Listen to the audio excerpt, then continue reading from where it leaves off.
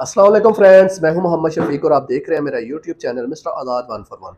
Friend आज की video में हम आपको बताएँगे कि दो नंबर मशीन ये जैसा कि मेरे सामने खड़ी है, कि दो नंबर मशीन कैसे वर्क करती है, इसके अंदर क्या क्या होता है, आपको किस ख्याल, यानी कि क्या ख्याल करके इसको लेना चाहिए क्या क्या एहतियात है जो आपको इस मशीन के बारे में मैं आपको ये सारा कुछ गाइड करूँगा। तो फ्रेंड ये आप देख रहे हैं, ये हमारे पास दो नंबर मशीन है, ठीक है ना? ये हमने बिल्कुल न्यू जो मशीन है, ये बिल्कुल न्यू मशीन जो हमने इसको तैयार करवाया आप भी जब भी नई मशीन ख़रीदें तो देखें, यार ये इसके हैंडल जो है, ये निकल होने चाहिए, ठीक है? उसके बाद आप देख रहे हैं कि इसकी इसकी फिनिशिंग आप चेक कर लें न्यू मशीन की फिनिशिंग ऐसी होती है। ठीक है ना? बहुत से दोस्त मैं देखा है जो यूट्यूब के ऊपर ये मशीनें सेल कर रहे हैं, वो क्या कर रहे हैं, इनको कलर करके और वो आपको ये मशीन जो है ना इतने महँगे दामों यानी कि पुरानी मशीन ऐसी मशीन खरीदते हैं जैसे ये आप देख रहे हैं। ऐसी मशीन को वो इसके इस इन डंडों को कलर करते हैं, सिल्वर कलर करते हैं या कोई और कलर करते हैं, ठीक है, इन जप्फों को कलर करते हैं और कलर करने के बाद आपको कहते हैं कि ये बिल्कुल न्यू मशीन है और आपको भेज देते हैं, ठीक है ना। तो वो मशीनें तकरीबन 20-20 साल चली होती हैं जो आपके पास वो यानी कि उनको कलर करके बेचते हैं। ये देखें, ये बिल्कुल न्यू मशीन, इसकी लुक देखें ठीक है ना? ये देखिए ये सारे डंडे इसके क्रोम हुए पड़े हैं। इसके ये जो हैं, ये यानी कि इसके जो निपल शिपल हैं, ये भी क्रोम हुए पड़े हैं, ठीक है ना? इसका हीटर आप देखें कैसे साफ़ सुथरा है, ठीक है? और इसके बाद ये आप इसकी बांग देखें, ठीक है ना? ये भी क्लियर क्रोम हुई पड़ी है। इसकी ये जो नीचे प्लेट है, इसको फेस हुआ पड़ा है, यानी कि मशीन के ऊपर इसको फेसिंग की जाती है कि ये बिल्कुल सीधा हो। इसके पीछे वाला हिस्सा देखें आप, ये देखें। ये जो नट हैं, देखें, बिल्कुल न्यू वाले नट लगे पड़े हैं, क्रोम है, ठीक है, इसके बाद आप ये इसका हीटर देखें, बिल्कुल साफ़ सुथरा किसी किस्म का कोई इसके अंदर यानी कि आपको नज़र नहीं आ रहा है, या जैसे आप ये मशीन का अगर आप हीटर देखें, ये पुरानी मशीन है, इसका आप हीटर देखेंगे तो आपको इसमें नज़र आएगा कि ये वाकई यानी कि शक्ल से ही नज़र आ रहा है पुराना है। उसके बाद क्या नाम है, अगर आप इसमें और फ़र्क देखें तो इसके अंदर, इधर लाओ, इसके अंदर आप देखें तो इसके अंदर ये आप नज़र आ रहा है कि इसके अंदर सारा टोटली स्टील का बुश यहाँ तक यहाँ तक हमने इसके अंदर स्टील का बुश डलवाया, ठीक है ना? बुश डलवाने का मकसद सिर्फ़ ये है कि इसके अंदर हमने साफ़ सुथरा, यानी कि वाइट काम वाइट काम करना है, ये देखें, इसके अंदर वाइट काम काउंट करना है, हमने वाइट दाना इसके अंदर डालना है, ताकि बिल्कुल वो क्लियर निकले, ठीक है ना? अगर आप इसके अंदर स्टील का बुश नहीं लगवाते, जैसे ये मशीन है हमारी, इसके अंदर आप देखें, इसके अंदर स्टील का बुश नहीं है, मैं आपको दिखाता हूँ, इसको ऊपर करके आपको दिखाता हूँ कि इसके अंदर स्टील का बुश नहीं है, ऐसे ये ऊपर इसके ब्रांस का लगा हुआ है, ठीक है? अंदर दिखाओ ज़रा, अंदर वाला बुश, मैं दिखाता हूँ। ये देखें इसके अंदर जो है ना स्टील का बुश नहीं लगा हुआ। सिंपल जो आयरन का इसका जो होल है वही है ठीक है ना जो इसके अंदर आ, काम कर रहा है। तो इसके अंदर जो है ना, वो स्टील का बुश, ये देखे मैंने आपको पहले भी दिखाया, फिर दिखा देता हूँ। इसके अंदर एक प्रॉपर स्टील का बुश जो है, हमने इसके अंदर लगवाया ताकि जो है डाटा केबल की फिनिशिंग आ सके। ठीक है ना? और इसके अंदर गंद बंद जो है ना, वो नज़र ना आए। ठीक है? इसी तरह ये देख रहे हैं, ये हमारा कंट्रोलर है, जो इसके साथ वर्किंग कर रहा है, ये पीछे इसके पड़ा है कंट्रोलर ठीक है ना? ये उस दिन मैं इसको चला रहा था तो एक भाई मुझे कह रहे थे कि यार, इसका टेम्परेचर तो ऊपर जा रहा है, नीचे जा रहा है, पर लेकिन आप देख रहे हैं 160 इसके ऊपर हमने सेट किया हुआ है। तो एक के ऊपर वो आ गया। जैसे ये एक पे या एक पे आएगा, ये दोबारा ये चलना शुरू हो जाएगा। यानी कि 160 भी हमने जब सेट किया हुआ है तो आप देखेंगे इसके अंदर, ये देखें, ये हमारा इसके नीचे 160 के ऊपर ये ऑपरेट हो रही है, ये हमारी मशीन। 160 के ऊपर ये हमारा दाना जो है, ये देखें, ये ऑपरेट हो रहा है, इसके नीचे निकल रहा है, ये देखें। यानी कि ये 160 के ऊपर ही ऑपरेट हो रही है। और इसका दाना जो है वो पिघल के आ रहा है। हमने 190 नहीं कीजिए कई दोस्त हैं वो इसको 180 190 पे भी चला रहे हैं ठीक है? तो हमें देखना ये है कि ये देखें हमारा दाना मेल्ट होकर नीचे आना शुरू हो गया है। तो हमें आ, समझ जाना चाहिए कि हमारी हीट हो चुकी है। ये कोई हदीस नहीं है कि हमने 190 पे इसको चलाना है 180 पे इसको चलाना है नहीं। जैसे हमें ये महसूस हुआ है कि यार ये देखें ये हमारा दाना गर्म हो रहा है इसके नीचे मेल्ट होकर निकलना शुरू हो गया तो हम जो है ना अपनी हीट जो है ना उसको उधर ही सेट कर दें। ठीक है? आपने भी यही काम करना है इसके ऊपर। आपने वन एट्टी अक्सर आप किसी से भी पूछेंगे, आपको वो यही बताएँगे। मैं भी दोस्तों को यही बताता हूँ कि वन एटी पे चलाएँ, वन क्या नाम है, वन नाइन्टी पे चलाएँ। पर लेकिन मैंने जब इसको कल चलाया, इस मशीन को, नई वाली मशीन को, ये वन सिक्सटी पे सेट हो गई है। तो इस वजह से आपने बस ये देखना, ये देखें, हमारा माल इसके नीचे से मेल्ट होकर निकलना शुरू हो गया मतलब हमारी हीट हो गई है। ठीक है? तो अब इसको हम जो है ना ऑपरेट करना शुरू कर दें। तो आपने इस चीज़ का ख्याल रखना है, इसके यानी कि ज़्यादा टेम्परेचर नहीं देना, ताकि जो है कि आपका हीटर जल जाए और ब्लॉक हो जाए और आपको मसलन आए।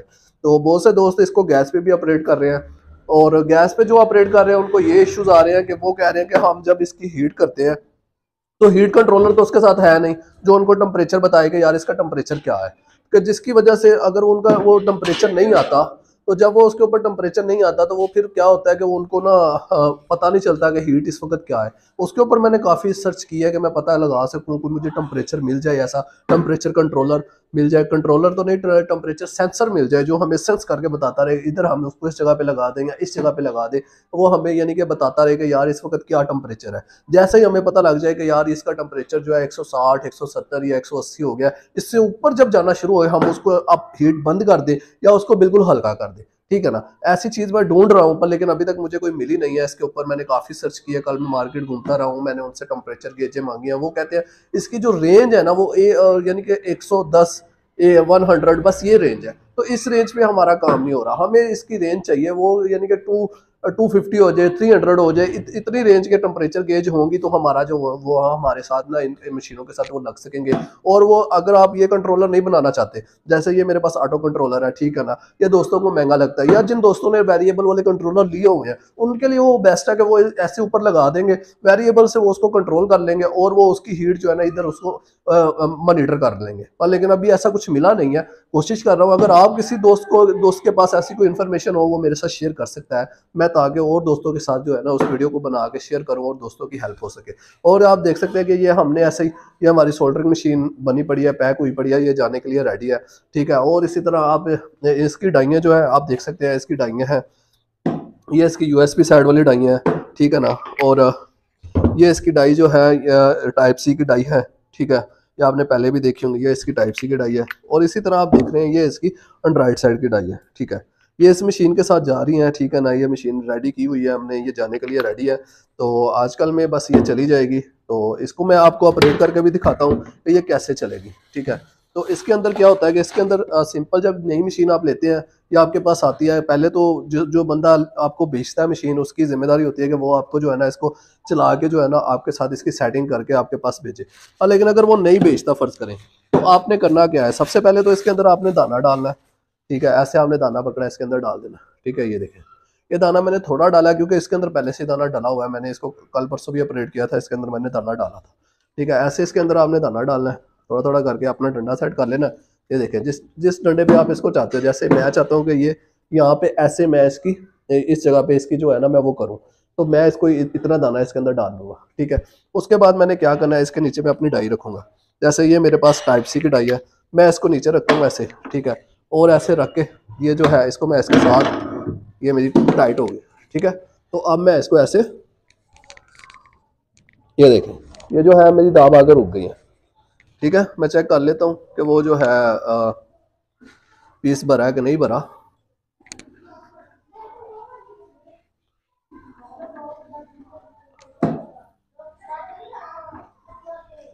हम्म ठीक। तो ये देखें इसके अंदर मैं चेक करता हूँ कि पीस आया कि नहीं आया मेरा। तो आप देख सकते हैं कि ये मेरा पीस आया और लेकिन ये थोड़ा सा शॉर्ट है।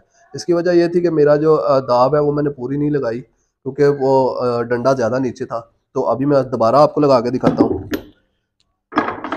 ठीक है? इसमें कोई टेंशन वाली बात नहीं है, ठीक है फ्रेंड ऐसे आपने इसको पकड़ना है और जो है, ऐसे इसको इस डाई को अंदर रखना है और ऐसे टाइट करके ना तो ये देखें। ये। ये मेरी दाल जो है लग चुकी है ठीक है? टेम्परेचर आप देख रहे हैं कि वो देखें 160 पे चल रहा है और मैंने इसके ऊपर दाब लगाई है ठीक है? दाब लगाई है तो और ये देखें ये माल इसके अंदर से बाहर आ चुका है।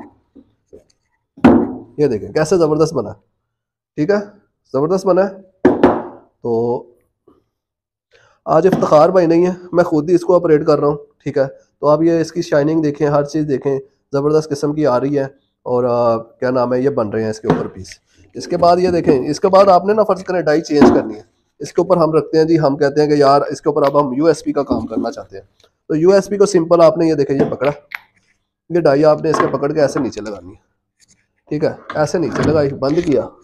और ये देखें, ये मैंने इसके ऊपर दाब लगा दी। ठीक है? ये मेरी दाब लग गई और मैं ऐसे इसको ऊपर करूँगा और इसके अंदर मैं दाना डाल ये मेरा दाना डाल गया ठीक है, इसको मैं खोलता हूँ। और ये देखें। फ्रेंड ये देखें। ये मेरा पीस जो है, पूरा भर चुका है। ठीक है, और ये मैं आपको निकाल के दिखाता हूँ। ये चेक करें। ठीक है, ये देखें। कोई इशू नहीं है। किसी जगह पे भी कोई इशू नहीं है। बड़े आराम से, बड़ा प्यारा और ये सिंपल आप देख रहे हैं कैसे पीस भर चुका है। ठीक है तो ऐसे ये मशीन ऑपरेट करती है। ये दो नंबर मशीन है। ठीक है ना? आटो के ऊपर मैंने आपको काम करके दिखाया हुआ है। शाइनिंग की जो दोस्तों को प्रॉब्लम आ रही है, देखिए, अगर आप इसका टेम्परेचर जो है इसको ज़्यादा कर देंगे तो आपको शाइनिंग की प्रॉब्लम आएगी। अगर आप इसका टेम्परेचर नॉर्मल चलाएँगे, जैसे मैंने आपको 190 बताया, आपने बिना सोचे समझे उसका 190 कर दिया। ठीक है ना? ये देखिए, इसके नीचे से माल कैसे निकल रहा है? एक भाई ऐसे मुझे फ़ोन करके कह रहे हैं कि यार इसके नीचे से माल निकलना शुरू हो गया। जब ये गर्म होगा ज़ाहिर सी बात है, माल तो इसके नीचे निकलेगा। माल जब निकलेगा तभी आपने दाब लगानी है, तब भी आपने सारा कुछ करना है। जब माल नहीं निकलेगा तो तब आप ज़ोर लगाएँगे तो आपको कोई फ़ायदा नहीं होने वाला, ठीक है? आपका माल इस मशीन, इसके अंदर इंजेक्ट ही नहीं होना जब ये गर्म होगा तो फिर ही इसके अंदर माल इंजेक्ट होगा, ठीक है ना? जब ये आप देखें, इसके अंदर से खुद ब खुद माल निकलना शुरू हो गया आपने जो है ना छोड़ देना। उसके बाद आपने इसके नीचे पीस लगाना है और उसको बनना शुरू कर देना, ठीक है ना? ये दो नंबर का यानी कि है सिस्टम जो मैंने आपको दिखाया। इसके अंदर डाटा केबल का काम ज़बरदस्त होता है। तीन नंबर मशीन आप लेते हैं तो उसके ऊपर भी काम हो जाएगा। पर लेकिन टेम्परेचर आपको कंट्रोल करना पड़ेगा, ठीक है ना? और इन चीज़ों के ऊपर आपको फोकस करना पड़ेगा। आप ये देखें, ये कंट्रोलर बड़ा ज़बरदस्त काम कर रहा है। मैं जिसको भी जो ये मशीन दे रहा हूँ, उसके साथ मैं ये कंट्रोलर दे रहा हूँ, ठीक है? कंट्रोलर देने की वजह यही है कि इसके ऊपर हीट कंट्रोल रहती है। और बंदों को पता चलता है, ऐसे इसके ऊपर टेम्परेचर आ रहा है। जैसे इसके ऊपर टेम्परेचर आ रहा है मतलब ये है कि हमारी हीट जो है ना, वो इस वक्त क्या है और क्या नहीं कर रही। तो फ्रेंड आज की वीडियो में मैंने बस आपको ये देखा, पूरी दो नंबर के ऊपर काम करके दिखाया है। नई मशीन के बारे में बताया कि नई मशीन कैसी होती है और ये इसके साथ जो हमारा टेम्परेचर कंट्रोलर है, वो कैसे काम करता है। और जो बंदे इसको गैस पे चलाना चाहते हैं, उस, उनको क्या एहतियात करनी चाहिए और उसके साथ अगर वो ढूंढ ले हीट सेंसर ढूंढ ले तो उनके लिए बहुत अच्छा है। अगर उनको नहीं मिलता तो मैं इनशाला कोशिश कर रहा हूँ, जैसे मेरे पास आएगा मैं दोस्तों के साथ उसको ज़रूर शेयर करूँगा। तो ठीक है फ्रेंड इनशाला नेक्स्ट वीडियो में फिर कोई अच्छे टॉपिक के साथ हाजिर होंगे। अल्लाह हाफिज़।